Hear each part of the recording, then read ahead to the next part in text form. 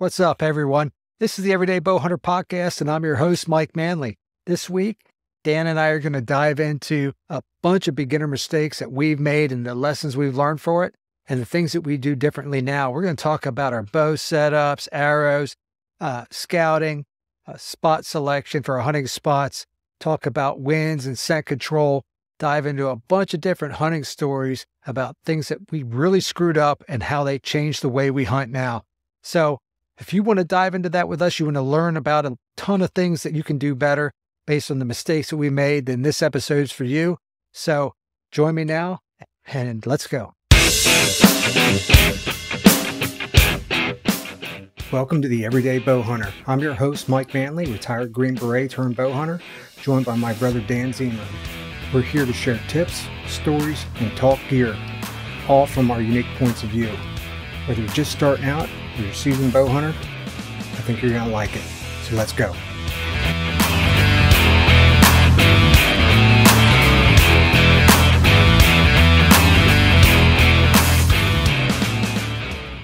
All right, welcome everyone. This is episode six of the podcast, and uh, we'll jump jump right into it. Dan, what was what was your last two weeks like? It seems uh, like a long two weeks. Yeah, been pretty busy. Well, we did the Lebanon Dog Show. I'm going to start out by saying I don't really care for indoor dog shows. It's so freaking loud. I mean, all little yap yap dogs and whatever. It's so loud. Uh, mom and dad came up. It was pretty cool. They got to see uh, Natalie uh, go, go select and make it to group uh, through uh, owner handler. So that was pretty cool. She she placed there all four days. She placed awesome. in group two of the four days, which she got, I think, five points towards her grand champ. Well, towards the dog's grand champion. Uh, it was pretty uh, productive weekend. It was a, a lot of work. That's awesome. Better you Yeah. and me. That would drive me crazy. And then last night, I went to a 90s party, themed party, and I, I'm official. It's official now. I'm a champion of beer pong. oh, I was smoking these jokers. Mm.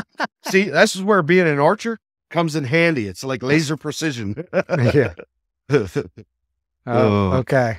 Okay. okay. So, oh, Uh, uh, what are you doing? I got some stuff to tell you, which half of it already, but uh, listeners obviously don't. So, uh, anything else archery wise you done this this Oh, past two weeks? I did do some shooting. Uh, I had to get, I took all the back seats out of my truck and put a platform in for the dog crate and all that stuff for dog shows for traveling. I had to get that all set back up and whatnot because archery season coming, get prepared. But I did do some shooting, uh, shooting a little better than it was the last time. I got a, last time I, I almost lost confidence and it, it felt good to get out there and have some productive sessions.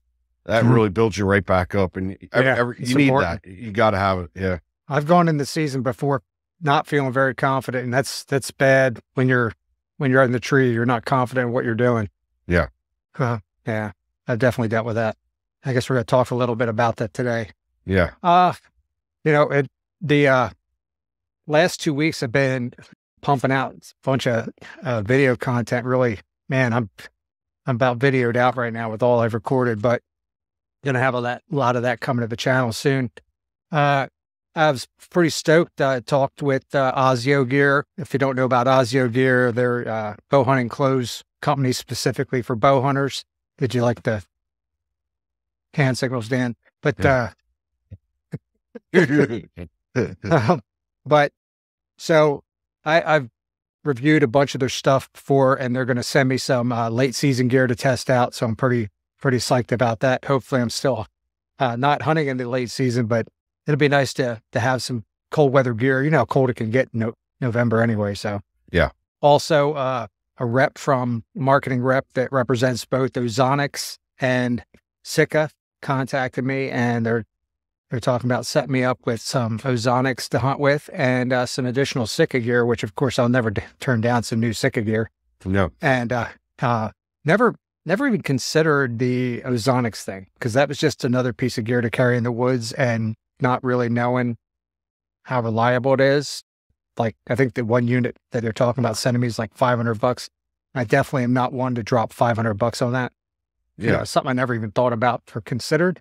But if you're going to ask me to test it, I'm going to do my due diligence. I'm going to do a good test. Yeah. And uh, see how it goes. So we'll see what happens with that. So I'm I pretty like- stoked about that. I do like the idea of the car thing and the bag. Uh, that looks pretty like legit. Yeah, having a, a it's a small unit. that- This is the micro, I think, uh, for the car. And then um, there's a it's called like a dry bag. And uh, well, you could hook that ozonic unit to the dry bag and do what's called a dry wash on your clothes. Although there's some hunting clothes that say that it's not good to use ozonics on them for whatever treatment they have on them or something. So something to look into too. Yeah. But anyway, it'll be interesting to test and see. Sometimes with that, where we hunt, that it's feast or famine on deer. You don't know if it's working or not. Sometimes it's only if you got something coming in downwind of you, you're saying, man, how can that deer not smell me right now? So we'll see. Yeah. Yeah. We'll see what happens. I'm not going to get too, uh, too fired up about it until it happens though. So anyway, that was great. And, uh, I've been really messing with the gear, but today I working on my kayak trailer, putting that together. I only have to put the actual kayak mounts on now. It's been a real pain, but anyway, uh, I think some of the stuff you were, you talking about with shooting your bow and stuff and, and feeling confident and stuff goes in, really leads into what we're talking about today. And that's, uh, beginner mistakes to avoid, lessons learned that we've had, things that we've done wrong and what we've done to correct it. And that is kind of, I don't know. I think even from last year to this year, I was started filming my hunts last year. And then this year, I'm like changed half of what I did because I was like, oh, I, this doesn't work. I have to change things up and make it lighter and, and better and stuff. So learning lessons all the time. But Yeah. let's start off with your your bow prep, your arrows, and your and your shooting and and talk through some of the mistakes you made and, and what you what you've done to correct uh yeah, what you've done to correct it. Well, me personally, I'll say this. I, I had a great mentor with dad. So the, the shooting part, I really didn't make a lot of mistakes more than like as far as like the purchase. Bought a brand new Mathews bow, got some really great arrows right off the bat with that. Uh and went with the Grim Reaper broadheads and like I, I I feel like I did all the right things there, but it was really for me it was about the consistency in shooting and and training with that and learning how to do that the right way. And, and i ain't even gonna lie it took a couple seasons for me to get kind of into the flow of what i should really be doing. And if you're just starting out and you don't have that mentor like i did mike you were away. Me and my, my our friend my one of my best friends jevin we kind of were into stuff we shouldn't have been into and we're like hey we need to we need to change our life here a little bit. Let's let's get into archery hunting.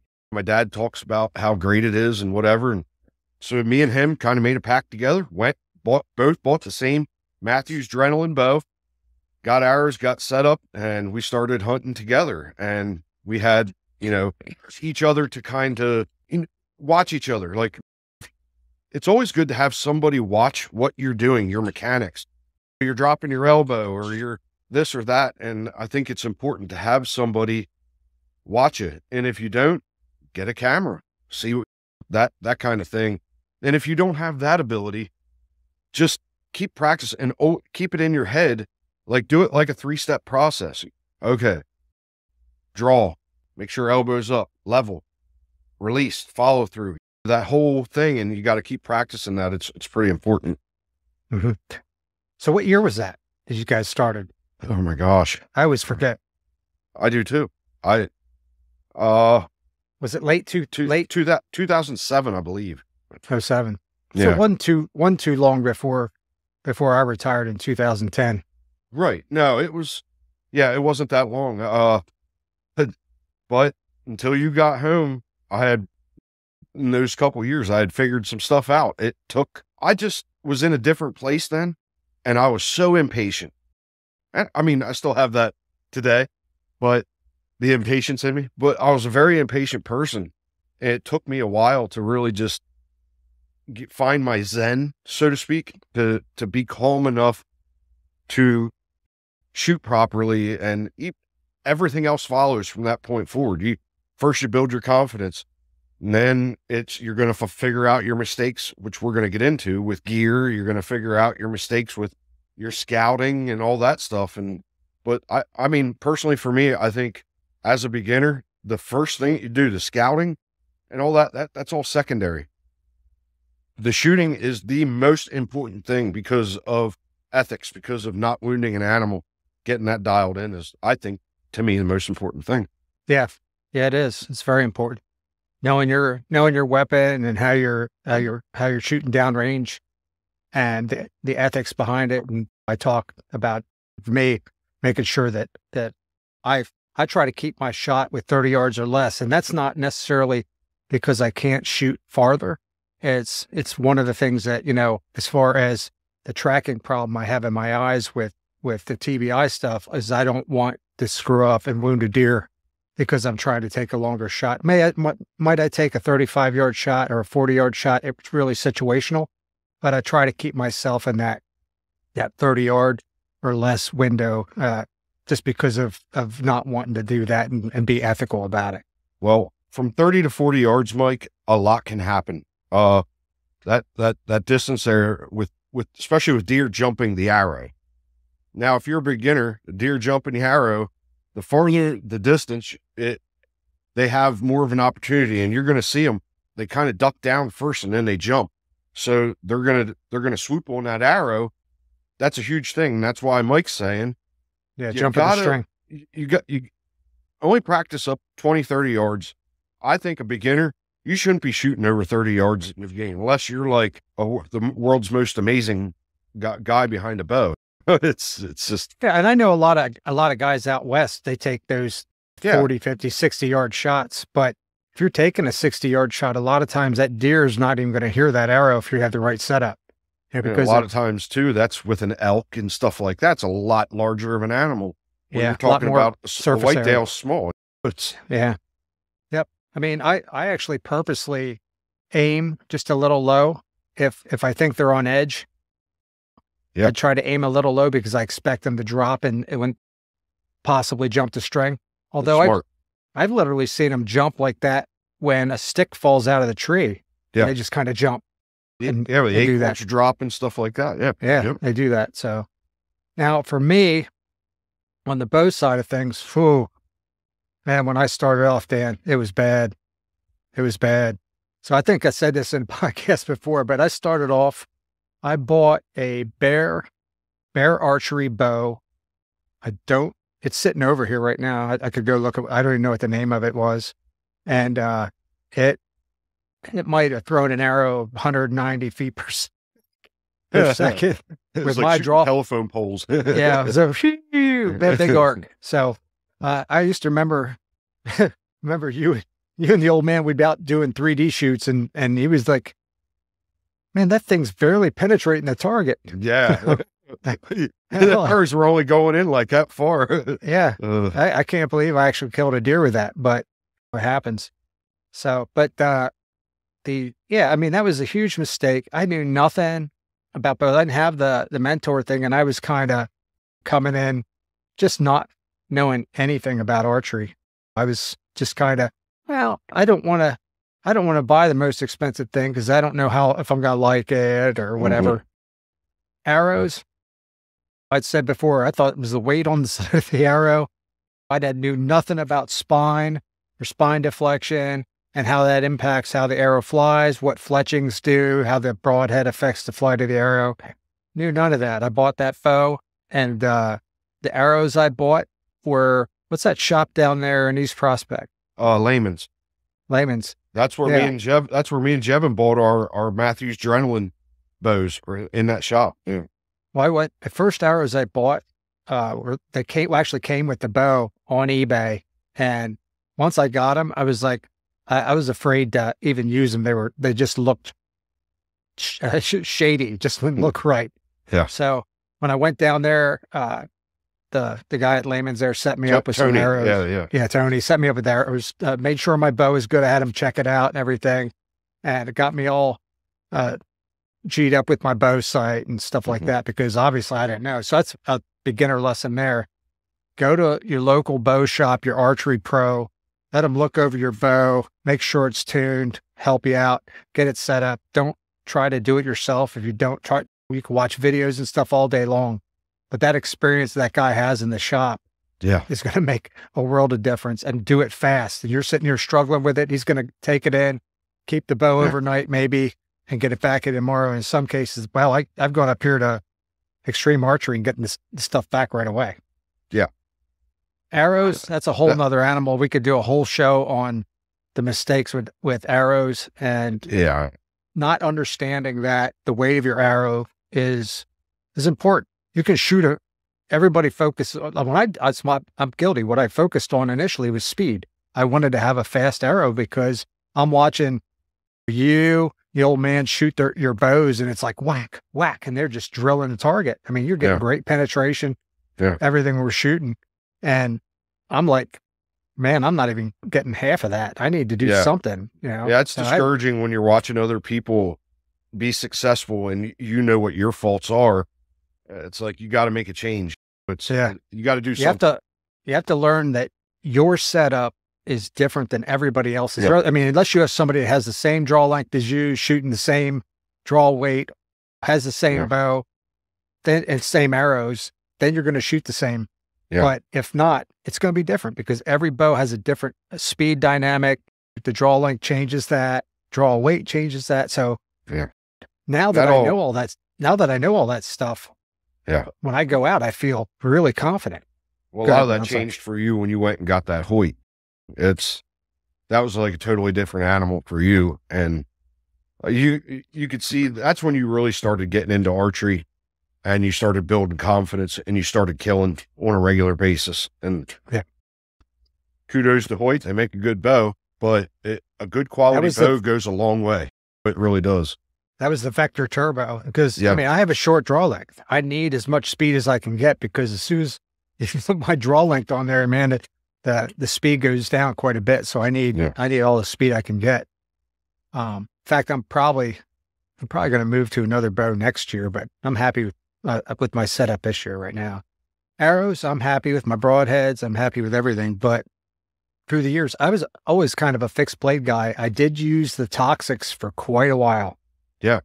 The the toxic broadhead. It actually looks like the toxic symbol. Uh, they like the they're like a bullet. symbol. Yeah, yeah, yeah, biohazard. Yeah, biohazard symbol. yeah, yeah. And they're and uh I'll tell you what, Man, Mike. they that they that freaking buck killed. you got, that big buck you got. Oh my, did it ever put a hurting on that thing? It destroyed oh, them. Jesus, it destroyed it. Yeah, and, and so I I can't complain about the toxic. I that they did a heck of a job.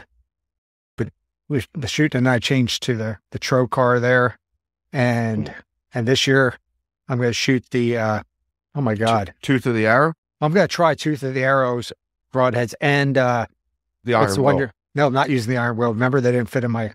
I sold them. Oh what's the yeah, you're that's using? right. Yeah, yeah, yeah, yeah, yeah. You're Oh, using. It's, it's it's escaping me. right here. It's the. Oh uh, yeah, I don't know why I can't think of the name, and the package is right there. Mm. uh, Black Hornet. Oh, Magnus. Black Hornets. Magnus Yeah. Black Hornets. Just came to me. My Magnus God. is what I was looking for. But If you're yeah, listening to this, sorry about that, man. I, Yeah. wow, I had total mind fart. But Hey, yeah, it's summertime, and we all got like a million things going on right now. It's, it's oh, so, but yeah, So, but yeah, and and I guess one of the bigger lessons for me when it comes to shooting, because you talked about shooting, Yeah. is we used to shoot 3D shoots all the time, and man, I Yeah. just felt really confident about it, and I Yeah. And I haven't done that. But the other thing that I've learned, and I really feel good about this year, is I was just shooting my field tips to get ready Yeah. for the season, and the same way, you know, as your as Mm-hmm. your norm as your broadheads, but I wasn't shooting the actual broadheads that I was going to shoot, Yeah. and huge mistake that's a huge huge, mistake. beginner mistake. Huge. huge, huge. You have to shoot your broadheads, even if you have to buy an extra pack. Yeah. You know, and shoot shoot those broadheads so you know because they can be way off or they can be right, you know, right on. I was I lucky they're they're right on for me. Both the tooth of the arrow and the Magnus were perfect on. I didn't have to make any adjustments to my I have to say that I think that other than you're shooting for a beginner, that's one of the biggest mistakes a beginning archer makes is just practicing with the field points, morning before you go out hunting, putting on a broadhead of whatever and going out and thinking and hoping that it's, it's, it's not, you gotta, hey man, if you want to be an archer hunter, you got to do your due diligence and you got to put the time in. It, it, it's just part of the game. Yeah. And I know a lot of people do it, but starting in September is the wrong answer. August you can get away with, but if Yeah. you shot for a while, but if you're just Yeah. starting out, man, you need to really get put some time behind that bow and and build that muscle memory because it when that time comes and a, and a big buck walks up in front of you, everybody, I don't care who you are, uh, you, you see the seasoned guys on the hunting public, they they all get shaken. You you Mhm. get that buck fever, uh, target panic we talked about before, and that that's that's some real deal, especially if it's a big big buck and you're like, oh. So that's why having that muscle memory built up in that shooting was gonna is gonna help you muscle through that. Hopefully, Yeah. I, I, another thing like this season is a little different for me. Uh, getting prepared for the season. I started working out, doing some kettlebell stuff, getting on the elliptical, doing some yoga, getting stretched out right. Like we're, we're hoofing it out into the mountains. And if you were successful, you got to drag a deer back. You guys saw in the episode prior, like that picture of me all blowed out. And that, you know what that is? That was me 100% completely out of shape. And I, I uh, this year I told myself I'm going in a lot healthier than next year. I it's I owe it to myself and I owe it to the sport. It's yeah, I'm on the the stair stepper at the gym four days a week plus my lifting. Uh, that I built my shoulder back from from the I was really bad there for a while. yeah, and now it's back and I'm I'm feeling really strong and good. So hopefully I'm good through the season here. But yeah, absolutely. Being in Yeah. shape eh, eh, for it, especially you're just putting a tree stand on your back and heading up up in the woods, just you know, going back for miles or whatever, and then having to drag a deer back with all your gear too. Yeah. You're you're not leaving your gear there. You gotta take that out. So that's I'll a- tell you what. I it, it helped me actually build stamina for shooting. Like I noticed that the last two days shooting, you know, just going through shooting more and more and more arrows, like it it's becoming easier because I'm starting to build muscle in that area. And I'm like, holy crap, I'm actually seeing the rewards of it. That's it's great. I loved it. Yeah. I told you that last time I shot. I shot like 60 arrows and I couldn't believe Yeah. it. Yeah. So, yeah, I mean, you build that, build that up for that one, that one shot. Yeah. So, Yeah. yeah, it- You know, sometimes in a season, that's all you're going to get. It's, it, could. So, so what do we got here next, Dan? oh, well, we're going into beginner mistakes, early season scouting, and hunting spot selection. So, Okay, go get oh it. man, in the beginning, again, I had, I had it easy because I had my dad as a mentor, and he would just, he literally knew all the good hunt spots. He had been out there hunting for years prior to me and Jevin coming up hunting. So he would literally put me in a spot. They're going to come through here at this time, and damned if he wasn't right every time. They would be coming up over the mountain or this or that. But once I started going, you know what? I, I want to prove to him that I can do this without him. I, I, I got to do this on my own for my own egotistical reasons. Right? But man, this I screwed up so many times because I would just I'd see a deer trail that was like hi- historical, and I'd just go up, no fresh deer crap, no nothing, and I would just hunt these spots, and I went years without killing an animal because I was just doing all the wrong things when it came to scouting. Oh, I could shoot something, but I wasn't putting myself in them right places. I was just out there. Yeah, it's beautiful to sit in the woods, but it's frustrating when you're not seeing the animals. And hmm. I was not doing my homework. I was not playing the wind. I was not, I didn't care about my scent. But back then, I had spent all my money on my bow because that Mathews Dreadnought completely set up. We're talking twelve hundred dollars, blah blah blah. There, there went. I shot my load. So I didn't. I didn't have the money for all the scent gear, so I was just using all my old hunting clothes. Yeah. And, dude, I screwed up every way possible. Dad would put me in these wonderful spots and have deer come in, and I wouldn't be ready. I wouldn't. It just you name it, I did it wrong. And it took me till a couple years ago with me changing my style of hunting from getting out of a tree is when I really just screw the BS. I'm doing this the right way every time. And it, everything's well thought out now. I think that's it. That's the number one thing. Yeah. Having a plan. Walking out in the woods without a plan is is the wrong answer. Yeah. Um, you got to say, like I think we talked about this a couple episodes ago. You talk about you're gonna scout and find that hot sign. Mm-hmm. Find find some spots where you have you put out trail cameras or something, or you just just go and work your way through the woods or or near ag or whatever, and and see where that sign is is pointing. Early season, you'll find that that food to bed pattern that they're on, and when they're doing it, and put yourself on that on that trail that's between the two, and you might be successful. But understanding, I mean, I think I went out and I think my first hunt. I well, let's go back to scouting real quick. So my son Tyler and I are down near the lake, and I we find all this deer sign, and and he's like, "Oh my god, Dad, this trail's so good. It's it's Deer Vegas."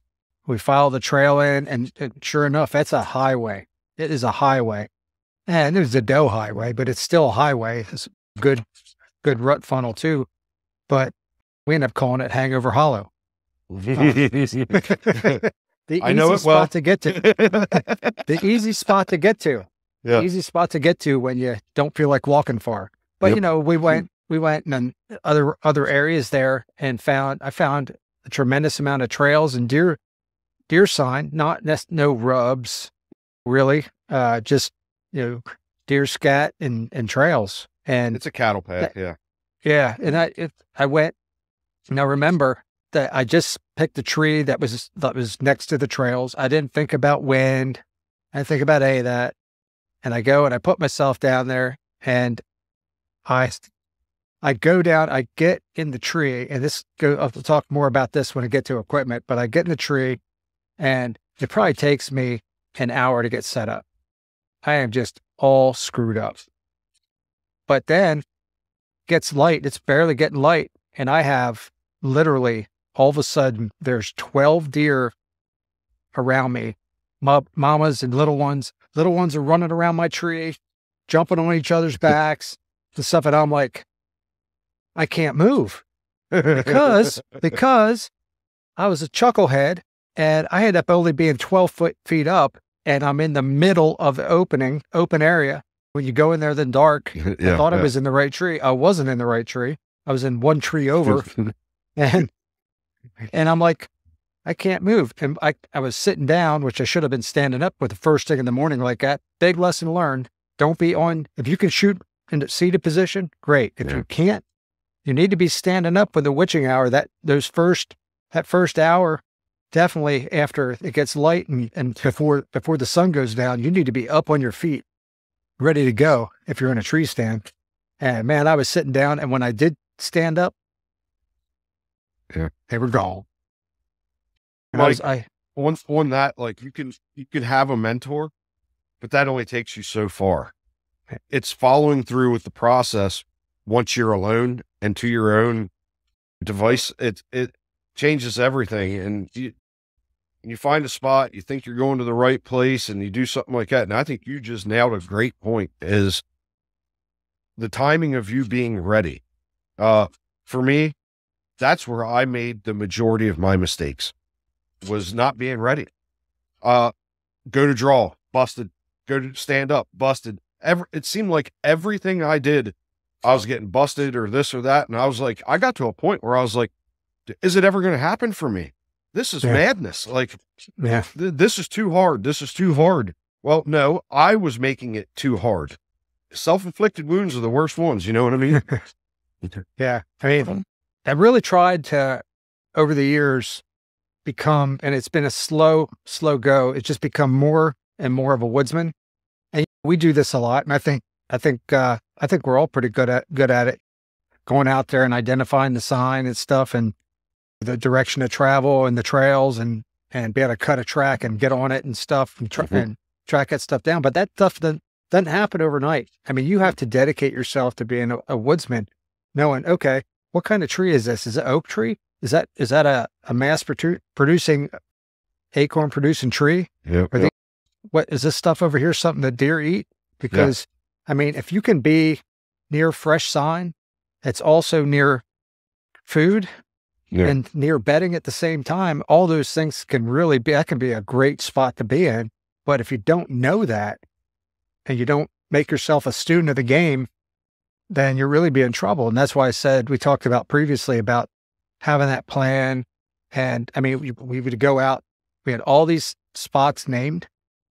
The mistake was to go out to that spot, sit in it because this is a morning spot. Why is it a morning spot? Because, well, the deer are coming off off of water and heading back to bed, and this is that travel route.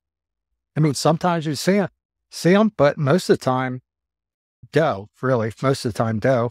Yeah. Um, although, you know, during the rut's a whole different animal. During during the rut's a whole different animal. I think that really changes everything. But um, just going out to those spots over and over again, and I I think it was like three years ago, four years ago, I started getting dis, dis disgruntled and not and saying I need to I need to be a, a better student of the game. And you know, Yeah. I was doing all the little stuff, trying different things, making mock scrapes, doing doing different things like that, just trying to test out and see how the deer reacted to stuff, trying to learn more about deer behavior and Yeah. and their and their their their habitat and their their movement patterns and stuff and try to understand that. And that my biggest mistake in the, the beginning years was was not doing that. Yeah, you know? I, I agree with that. I think a lot of people, their misconception when they start archery hunting is that they don't realize how different it is compared to rifle hunting. Oh yeah. In rifle hunting, there's so much hunting pressure, and the, the deer are just running every which way with their tongues hanging out because of all the hunters in the woods. Archery, they are in their own element, their natural element, and it's totally different. And you have it, the game is totally different because of that specifically. You know- And go ahead. just to interrupt you for a second. Yeah. Uh, yesterday, or yeah, yesterday or the day before, uh, Duane Diefenbach is a professor. My son's in the the uh, wildlife uh, and fishery wildlife management uh, de- degree program at Penn State, and his one of the professors up there is Wayne Diefenbach, and he is uh, the head of this huge deer study. They have over a thousand collared deer in central and, and north central PA. And I listened to him a little bit on uh, the podcast he was on because they had a study get released in Lancaster online. I'll see if I can find it and put it in the in the show notes so, so the listeners can read it. But it said that the the deer, the bucks, mature bucks, the older ones that they tag because they were going for older deer when they were collaring Mhm. them. Yeah. would normally be bedded before daylight Okay. and that they would move between nine and 10 near, near their bedding area and between 12 and 1. And then they would move again after four o'clock, depending on the buck. So, if it, on average, this is an average. So, but it would be still in that near that bedding area and not like huge travel things. And that their home range is, is that on average, the home range of a buck in Pennsylvania, in this part of Pennsylvania, is about a mile, 640 acres. And no matter what the hunting pressure is, it takes a lot to push them out of that home range. It Yeah. will just move a little bit to stay away from Yeah, that hunting yeah, pressure. He said in archery that in archery season, that largely they didn't see them move a lot because it's a lot of individual archers and staying put on trees Yeah, and stuff yeah. like that. Where he said the, the craziest thing is deer are so programmed in this state that two days before the rifle season starts, the deer are already moving to their hiding spots. That's it's crazy. crazy. It's I mean, crazy. that's kind of like my dog. That my- Natalie will say, my wife, she'll say, "It's crazy. You were you were still like three four minutes down the road, and the dog was already at the window, tail wagging, getting crazy. Like they knew that you were coming. Like right some of the time, yeah. they well they know based on like they don't wear watches. How the hell do they know what time it is? but they do. It's, it's absolutely incredible. But yeah, uh, that that's really good information. I'd like to see that. Yeah. Yeah, it's. Uh, I'll put. I'll find the link and put it in, and uh, the podcast that he was on was actually because I was checking out some of the Ozonics stuff, uh, one of their videos, and they did a podcast with him. So Oh, it was really they asked him a whole slew of slew of things that uh, that any hunter would want to know, Right. and they they asked about barometric pressure, weather, all this stuff. Yeah, he was like, he was like, they might change the movements a little bit with temperature change and, and rain and stuff like that, but largely, largely s- not. And kind of, there. Kind of a off the subject thing I think is really cool that he said, this is kind of big for hunters too. He said that they have like a mortality thing on the collars. If a deer's in the same spot for so long, it triggers like the deer might be dead because they haven't moved. Yeah, yeah, But yeah. it's but a lot of times, like during bad storms and stuff, deer the bu- big bucks will just stay in the same spot, hunker They down, hunker down. Yeah. just hunker down. And he said they send people out to to find them, and he said ninety nine times out of hundred, that deer's gone.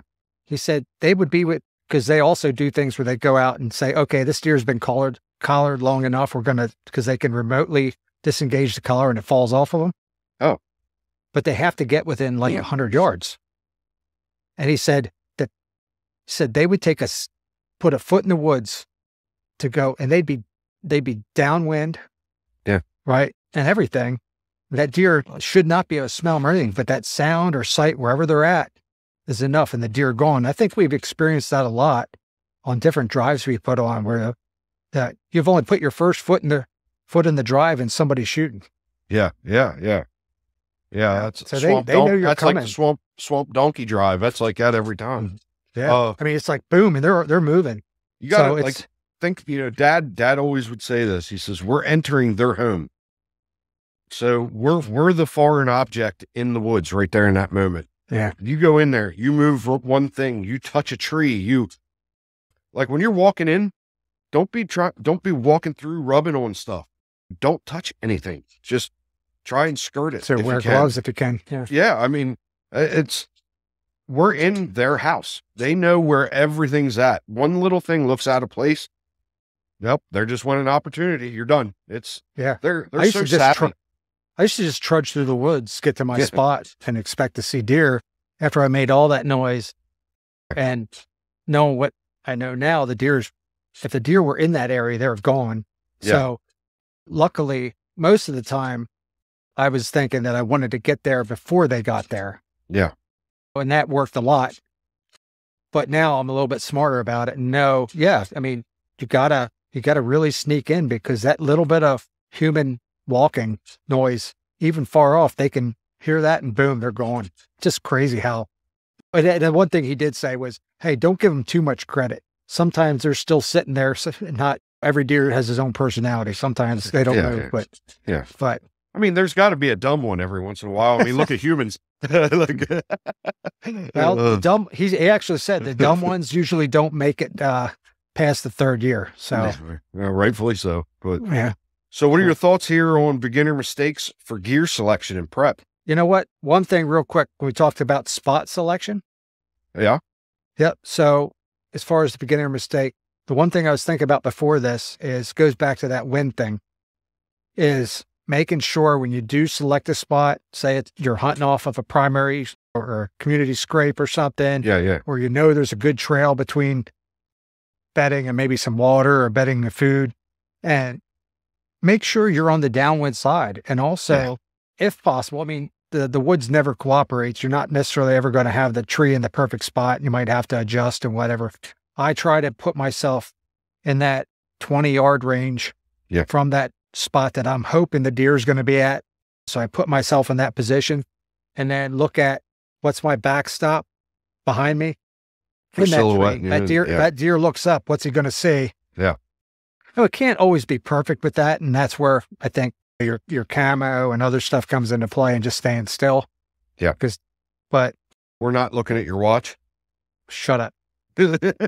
So I had, I had had to. to do it. It's going to be every episode. You had to do it. You had to do it. I look at my watch once, and I'm, I'm an asshole for like, Yeah, yeah. Hey, takes one to know one, I guess. eh? Yeah. but anyway, when it comes to site selection, though, that that wind thing, that's your only. I mean, because you can use scent control as much as you want, want, and I, I, I really do it and to minimize my signature, but I'm still going to smell you because you're going to sweat going in. You're Yeah. going to be breathing.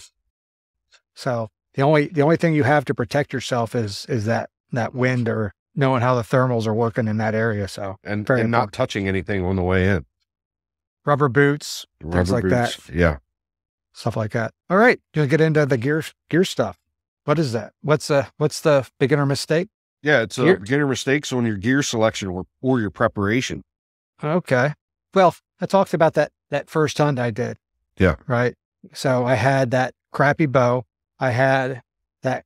I also bought a a climber off of eBay. It was a Chinese knockoff climber that was about 32 pounds, so a heavy beast that had no noise suppression whatsoever. It was noisy, banged around. And then when I first got into the tree with it, climbing the tree, it was so rickety that I felt completely unsafe with it. I said to myself, as soon as I was in that tree, I said, Oh my God, biggest mistake I made was not getting all my gear together.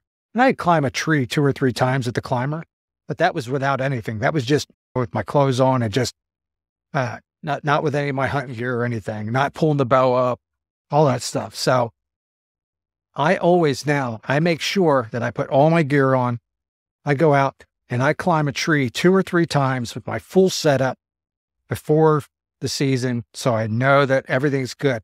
You're still going to screw up that first day. I don't know if anybody doesn't make some mistake first day. Where what did Mark say last year? Yeah. He dropped his he dropped his release, Yeah. and this I don't know what else. I- was that the you year know before? what? That's that's the opening season, first day, maybe first two weekend blues. hey, you're you're rusty. You haven't done it for two thirds of a year. Now all of a sudden you're back into it again, and uh, it's it's like almost you could be not hungover, but it's like going into. well, I'm saying you, it's like going into the woods hungover almost. You're you're just. eh, The beginner's got to understand this. You're gonna just. You're gonna screw up until you don't anymore. I don't know how else to word it. And like, making those mis- making those mistakes is a part of growth. You're going to have to you have to learn somehow. yes, Mistakes are going to help you learn. yeah. But yeah, I was so jacked up. I mean, I got up there. I did. I think, like I said, I was like, okay. I think I had a screw in bow hold, bow, bow holder, and I was like, okay, what side of me is perfect for this? And I was just. So it took me, like I said, like an hour to get set up because I was totally Yeah. unprepared and I took it for granted. And I think it was, I was just being cocky because of my military experience. And that was a, a huge mistake. I mean, really, with Yeah. my experience, I should have been smarter. And I, after that, though, it was a good, good wake up call because then I, I had a whole process. I would get up the tree. I would do this, then I would do that. I would do my practice, practice shots with my Good. bow, get my bow out, make sure I pull it back and everything's good. I'm checking my ranges. That into tree's that 30 rhythm, yards, man. that tree's Yeah. 20, and, and have that system down. And now everything I do is very systematic. I have my my pack has to be set up a certain way. My sticks go on there one way. My saddle's on there. Everything's set, and I have a system for it. So if you could take anything away from this, is make sure you have everything set up. So when you get to the tree, the thing you pull out first out of your pack is the first thing you need, not the last thing you need. So that you're yeah. systematic because you can drop stuff out of the tree so easy, especially in the dark if you're going up in the mornings or something. So have a I don't have that plan. problem anymore, but when I drop it, it just goes about a foot and a half down. Uh, yeah. But I've I've done that where I drop my release, and in the uh-huh. climber, in the climber you have to actually you have to climb it down. You can't Yeah. just hop out and climb down your sticks real quick and come back up, like with a saddle with that. So it, I'd be like, okay, I'm getting I'm getting out of the tree early, I guess. yeah, But Now- as far far as gear selection, I think Andy said it great last week. Andy said, "Hey, a rifle hunter that's going out there for two, three days in the season, maybe four days, Yeah. or you know, even a week. That's that's and they're walking out there, they're sitting down with their their gun, they just have cold weather stuff on and some orange. But archery hunters, man, you're hunting from the first day at the, the first of October through Yeah. the end of November, and maybe even second season. He said, he said having good gear that can last you through the season that you can rely on is the most important thing. That way, the last thing you're thinking about is your gear and the only thing you're focused on is the hunt. Yeah. And that's a very smart deal. And so I've I've tried to adopt that myself. Yeah. As well.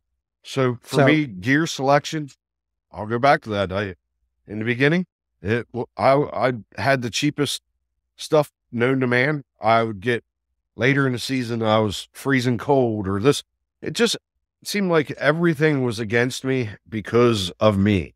I was not layered enough. I was not.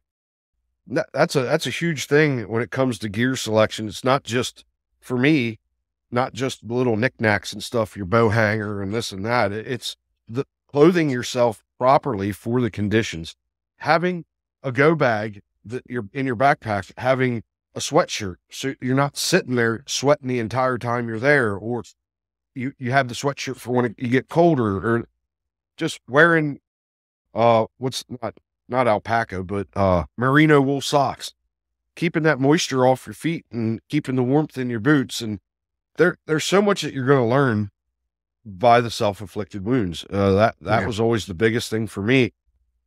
Uh, later in the years, I started spending a crap load of money on all the little the the hooks for this, the this, the that. And, and I, I don't even use that stuff anymore because I'm a ground hunter. But uh, now as far as the preparation, uh, you darn well what I was and who I am now. I didn't prep at all. I was drinking the night before. I was either not going out in the morning or I was going out hungover, and that is a stupid way to do things. And once I woke up and got married and realized that's not the way to do things, that's when I started becoming successful. It was learning how to prepare. And it's not necessarily just about, to me, uh, preparing for, let's say, scouting and this and that. It's knowing packing for the season, getting ready, taking having everything with you. That way, when you get up there and go to go out hunting, you're not missing something. Yeah. Yeah. Yeah. Yeah. That's that's definitely true. And I think, you know, so as far as uh I have like right over here behind me right now, I have my all my gears laid out. I have everything laid out Yeah. and I'm gonna be doing a full pack out, make sure all my stuff's squared away. Um I think as far as gear lessons learned though, is arrows once again. You know, I've said it in the one podcast, your bow doesn't kill the deer, your arrow does. And mm-hmm. I think my arrows are are definitely the one thing about this setup though, Dan, is and you talk about seven bolts last year. How much money was flung down range? Oh, I don't so every couple time hundred shoot- dollars. Yeah. Every time I shoot one of those arrows, it's like oh, it's like forty bucks with my arrow going. "Eh," you know, yeah. Yeah. one arrow, forty bucks. Oh, Yep. that's horrible. So I put a lot of a lot of money into my arrows now, and and uh, that's that's a far cry from what I used to do. And I, when I killed deer with those other arrows, I I look at that that one, and I uh, I got up there on Buck, Buck Ridge, and they came down out of bedding, and I it was two early season. I think it was the first or first weekend because they were still together in bachelor group, and uh, I shot my first arrow, and I had buck fever, something fierce. And and that arrow went between the deer's legs and he just kind of goes and jumps and just like he thought it was a twig or something. How'd that go again? shut up. Shut up. I can i'm like a fawn. I'm like a fawn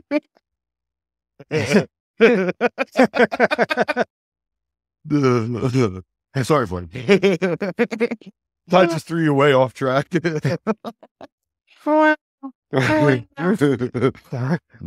anyway it went it just went between his legs and i was like so ticked off that i was able to calm my nerves i was ticked off and i was just like pulled up and boom and drilled him It was almost know, more natural the second shot. Yeah. Oh, it was totally Yeah. natural the second shot and what it what I felt it should have been in the first one. But just like I said, that my level of prep, preparation just wasn't wasn't there. And So I got a good little story about a beginner, and that was me. And we went up to state college and we were hunting at Toftrees Golf Resort. Uh, it's all developed now. There's you can't hunt it, but back then we went back in there and went hunting. And uh, I'm it was two ridges that came down. There was a little hump in the middle, and I was like, "Oh, this looks really cool. I'm gonna hunt this this middle hump." not thinking about, I'm going to be, uh, if a deer comes down this side, I'm going to be like eye level with it. I wasn't thinking about that. So lo and behold, I start grunting. And I mean, a Jim Dandy of a six point, a bigger than average six point, comes tearing ass down over this ridge to me, right to me. I draw, I get a shot at him, and I shoot. Now, here's where the lesson was. So, for the beginners, get a rangefinder and start range finding trees around you. You know what I mean? So that you know what your distances are. I shot right underneath that thing because I wasn't thinking about that elevation difference between me and him. Mhm. And back then I didn't do the math. I didn't I didn't care. I was just oblivious. I was, oh, I'm in the woods. Well, I called dad on, on the cell phone because we had coverage up there. I was like, hey, you ain't gonna believe us. He goes, what? You fell out of your tree stand? and I was like, no, I just missed the six point. He goes, oh, well. Uh, like almost like he figured he knew how I was hunting at that time. You know what I mean? And he was just like, oh, keep at it, buddy. One of them deals. but like, that's just the, the stupid things that, that happen to beginners that you're going to miss opportunities because of you not doing the preparation, your homework. And now for me, one of the first things I do, if the sun's coming up, yep, I'm standing, I'm ready, but I'm also range finding different trees within my little zone. So I know that's 20, that's 30 yards. If he Every walks through- if this deer walks through there, that's 25. If this deer walks through there, you, you have to do that. Otherwise Mhm. you, you're setting yourself up for failure. But Yeah. that- Trying to do that when the deer comes in. uh, there's a, Yeah. a lot of times. I mean, a lot of times them buck are on the move and you have seconds to get Yeah. drawn without getting busted and get a shot off. You don't have time to be messing with your bow with the uh, ranges or anything like that. Now, if you have a pin set for it, but you Yeah. still need to know that range out there or you're going Right. to take a bad shot. You can use the bracketing method like I do and, and get a little bit more tuned in, but doesn't matter. You have to know what that range is because sometimes when you're up in a tree, it can be so, even on the ground, it can be so deceiving sometimes in the woods at Yeah. how far something is. Say, oh, that's, that's, that's 15 yards. Oh, that's, that's 10. It's things like that. Yeah. I think one I, of my, oh, go ahead, go ahead. I was gonna say, like going into the, like the the big like what's the next thing here? I, I just happened to look ahead. The biggest difference between ten years ago till now is that kind of stuff. The small things. You know what I mean? Ten years ago, I was a totally different human being, and I was not. I was not willing to put the work in. You know what I mean?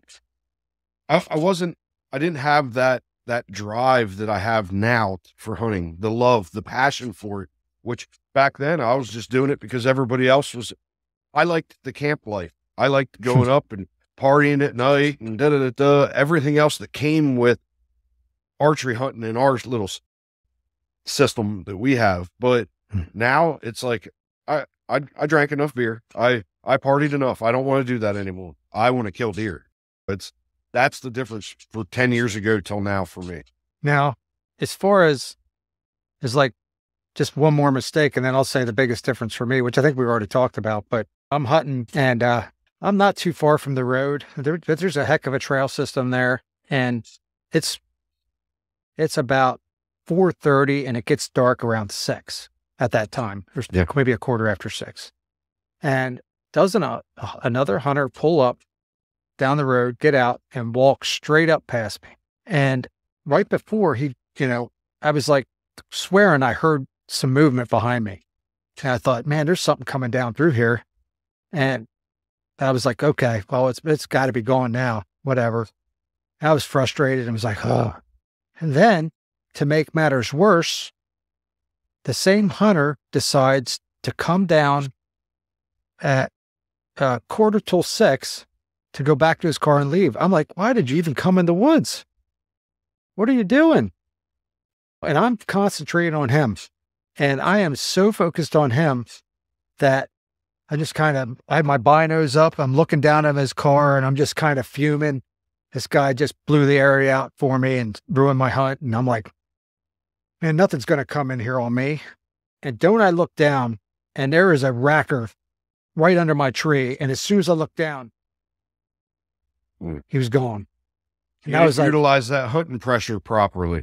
I was like, I, I was so focused on that other guy and my frustration, I didn't even think that maybe he could There was have a deer there. it could have influenced the deer to push down to where I was at. Yeah. Because he was kind of a off to the left of me, and that deer came in from my right from whatever reason. But I was like, man, I can't believe that. But as far as but as far as 10 years to now, it's doing exactly what you said, and that's putting the work in. Yeah. I think I enjoy the process of getting ready for archery season and scouting out in the woods and being out in the woods and scouting around, Just you know, as even more as the than I like to hunt. Yeah. I, I, I love that whole process. Yeah. It's turning into a, a year long process for me. And I love that. I mean, I Yeah. just, just love it. Yeah. And it's getting to the point where you, you understand that process and enjoy it and understanding, uh, what it takes to be successful to get a real big buck. If you don't care about getting a real big buck, I mean, that's your prerogative. You can shoot a two, three year old six point and be happy. Every, Yeah. your, your degree of happiness is based on what you want to do, not what somebody else tells you. Exactly. Yep. So I've shot a five point before and was ecstatic, Yeah. ecstatic because of how hard it is to hunt where we hunt to even see a buck. Yeah. Let alone, let alone see a big one. So as I've gradually mm-hmm. gotten better at my hunting, the more I've focused on trying to challenge myself as opposed to shooting a smaller deer. I won't shoot a smaller deer right now unless I was going to shoot a smaller deer at the end of last season because my wife broke her leg and, and my, my season effectively Yeah. basically stopped October 16th. So, but I was ready to shoot a six plus the few days I got to hunt after that. Yeah, but in rifle season, you shot a doe right in the eyeball. That was pretty gnarly. I was, I ran over and gutted your deer for you. I was so happy. Bitch, bitch Uh, was looking at me weird. yeah. She'll Well, never that do was that a- again. Yeah, that, that was just a weird, a weird thing. I felt Yeah. bad. You know, I had a 243 and, and just like I just, we just said, you guys had literally just barely started that drive yeah. and you called over the radio. Hey, we're starting. And I think it was, how long was that after, after you started that I shot? Mike, I wasn't that far from you because I was looking for bullet holes in me when you started shooting out there. the guy, it's, I mean, you sh- you were shooting kind of my direction too, which was a little scary. But I mean, down at an angle, you weren't shooting there. But I yeah, I was shooting. My, my rounds are going into the ground yeah, yeah. from the angle I was at. Yes, absolutely. Yeah, because of my wife breaking her leg. I, we we got out that we always do kind of a last day of rifle season hunt for fun yeah, and get a bunch of people together at camps and stuff to have a good time. So Yeah. we go out in the morning, we put some drives on, and boom, these guys start a drive, and no sooner they start the drive, and I see a shadow of a of a doe walking out in front of me through some thick brush, and she stops and she's kind of looking behind her, and I'm afraid she's gonna bolt. So I said, I'm shooting through the brush. So I shot through the brush, hit her, hit her good, but afterwards we saw it was a yeah, perfect yeah, shot It was a good hit. Yeah, and she ran away from me as she's running. I shot again, right right through her as she ran, which also was a good shot, yes, and she went down. She went Sure. down. So thinking, okay, got her. She's laying over there. I can see her about, I don't know, was that 60, 60 yards. 60, 70 yards, whatever it was. And so then you're coming through the woods, coming down, uh, your oh, drive's about done. Yeah, and I just catch it moving out of out of my eye, left eye, and I just kind of look over, and her head's up. And she's laying down, she, and I'm like, "Oh my god, she's laying over there suffering." So I pull my gun up, Pow. right through the eye. Ugh. She was, she was done then. I walked Yeah. right up. I I- walked. I hated- I hated knowing I hated knowing she was suffering, but yeah, Yeah. yeah, yeah. I walked right out of Like- that drive right into her. And oh, that last shot, the, the eye shot was the one that I was really looking for bullet holes in me. I was like, okay, I'm, I'm good. Okay, let's keep going. So I walk out and there she was laying. And I, I didn't even know who shot at that point. I look over and there you were. And I was like, uh, he was making his way over. I was like, oh, I think I'm going to start gutting her for him. got my knife out. And you could, by the time you got to me, I had already had her gutted out for you. See, that's because I love you, brother. that's, what, that's what brothers do. See? So, so there's something more to that though that the audience doesn't know, is that we talk a lot of smack and, and, and and you put on a show for the old man to get him to gut a deer recently. True or false? True. and I'm a and little uh, worked up, Dad. I can't do it. So- so then I think I said something like, "If I get a buck, you've got to gut my deer. If I get a buck before you, you've got to gut my deer." And then he did. And that was the previous season. Previous Yep. season, I got a buck and we went out and he gutted my deer because of the bet. and uh, after we found it, and uh, that was the time we were we were tracking. And I, and you were saying, "I'm not seeing any blood." I'm like, "Dan, look at the trees." Dude, it was sprayed everywhere. It was like it was like Texas Chainsaw Massacre just happened. I'm like, "How can you not? How can you not see this? It's all over the trees." both sides. But yeah, and then so fast forward, I basically I said to Dan, I said, I said, you should gut my deer, and he goes right over there and does it. That was nice. Yeah, yeah, yeah. Hey, man, you had a rough season. It was the least I could do for you. You know what I mean? Yeah. Yeah. Then we had to- then we had to drag it across the breaking creek. her ankle was a pretty uh catastrophic event. It, yeah, that that I was telling her today, she, she was going over to a memorial. A friend of hers uh, had passed away, and she went over to memorial. And I said, "Hey, remember, you drive 55, maybe even 50. Be safe. Stay in the stay in the right lane. Don't pass anybody, and keep things calm." We are not screwing up this archery season. All right. Lessons learned, man. you got to put that woman in a bubble, like make her Yeah. a bubble girl, like Bubble wrap. Yeah. bubble wrap. Bubble wrapped up for sure. Yeah. So, what do you think? You want to put a bow on this, man? Yep. I think so. It's a good, All right. So, a pretty good episode here. yeah, buddy. Yeah. If you don't know already, we have the Everyday Bow Hunter website and you know, all our social media channels, Everyday Bow Hunter. But uh, I am also the owner of archeryhunting.com, which is also called the Everyday Bow Hunter. So uh, a lot of the things we talk about here, in fact, the majority of what we talk about here, I have content on the web- website that you can use in detail, but it's all there on the site. We have arrow calculators to teach you how to build out your arrows and all kinds of stuff. So go over to archeryhunting.com, uh, get some of that content. I really appreciate the, the visit and stuff. Help me out. We are not sponsored by anybody. Might get some free gear here and then there to test, but we're not getting paid by anybody. We're doing this because we love it. We're Yeah. doing it for the everyday bow hunter, right? So yeah, Dan, Amen. So, yeah, thanks everybody. Hit that like button, subscribe, give us a five star review if you can, will. uh, got any questions? Send them in. Uh, thanks again. We appreciate you. Have a good night.